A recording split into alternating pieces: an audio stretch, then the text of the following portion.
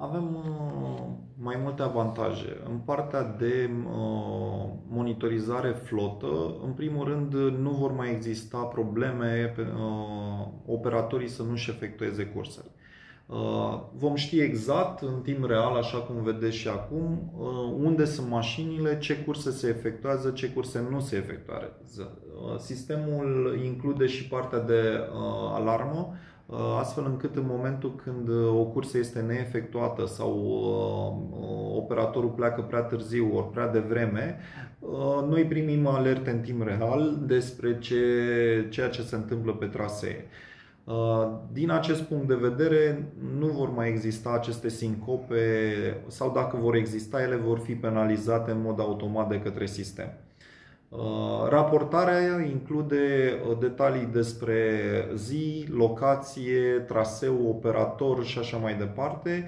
Uh, deci fără, fără acest sistem nu aveam niciun control asupra transportului. Din acest moment toți operatorii sunt monitorizați și putem ști foarte cu siguranță putem ști când se efectuează și când nu se efectuează curse. Apoi, avem uh, uh, zona de mașini folosite, pentru că și aici am avut destul de multe reclamații în uh, ideea în care mașinile uh, folosite nu sunt cele din licitație. Din acest moment uh, există 290 de validatoare, fiecare instalat pe câte o mașină, uh, și aici vorbim de mașinile efectiv cele din licitație, Orice cursă care este efectuată cu o mașină care nu are astfel de validator este o cursă ilegală.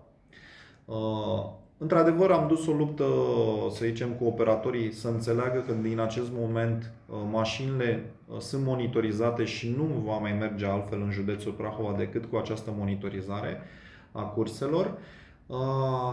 Și uh, în ceea ce privește călătorii, avem uh, sistemul de eticheting prin care își pot cumpăra bilete și abonamente online. Abonamentele și biletele, valoarea acestora, precum și perioadele, nu vor mai fi în mâna operatorilor, ele se fac automat din sistem, uh, plata intrând direct în contul operatorului printr-un procesator de plăți.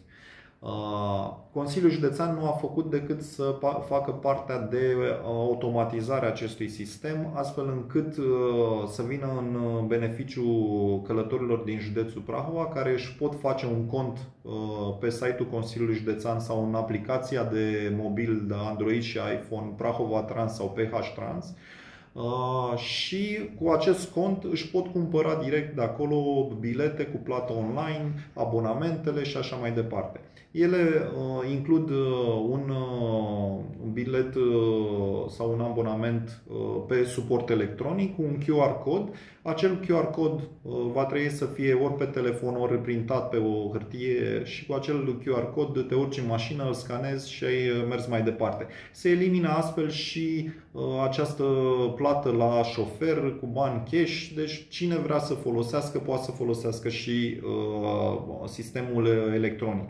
Într-adevăr, pentru o perioadă de timp va rămâne și uh, plata la șofer, care șoferul, în momentul când uh, te duci să-i plătești, uh, va reține uh, banii și trebuie să te întrebe unde cobori. Atenție aici, în momentul când îi spun, călătorul ar trebui să-i spună unde anume își dorește să coboare, valoarea biletului trebuie să corespundă cu stația de coborâre. Îi se emite un bilet tot așa cu un QR cod, îi se emite la fel și partea de casă de marcat astfel încât să fie fiscalizată toată această operațiune. Deci beneficiile sunt și pentru, pentru client. Mai avem încă un adendum la acest sistem, este sistemul de monitorizare și de abonamente elevi. Uh, care a fost dezvoltat tot de către Consiliul Județean împreună cu Inspectoratul Școlar și școlile uh, pentru a nu mai avea aceste sincope în transmiterea abonamentelor către elevi. Uh, sistemul face calculul automat a sumelor pe care inspectoratul trebuie să deconteze către fiecare dintre operatorii care dețin contract de delegare și elevii toți elevii, cei 11.000 aproape de elevi care uh, merg, uh, beneficiază de transport județean, uh, prin intermediul aplicațiilor de mobil sau pe site își pot face cont pe baza CNP-ului.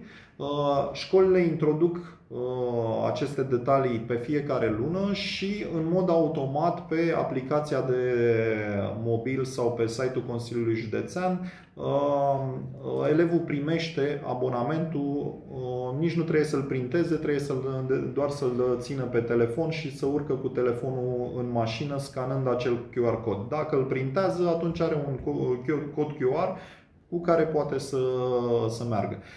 Am eliminat oarecum uh, astfel și uh, posibilitatea aceasta de întârziere a abonamentelor. Uh, unii operatori nu dă, cerau bani contra cost pentru elevi, astfel încât nu se, mai, nu se mai întâmplă acest lucru și este și în beneficiu operatorilor pentru că la sfârșitul lunii sistemul calculează în mod automat cât este valoarea și face toate anexele pentru inspectorat.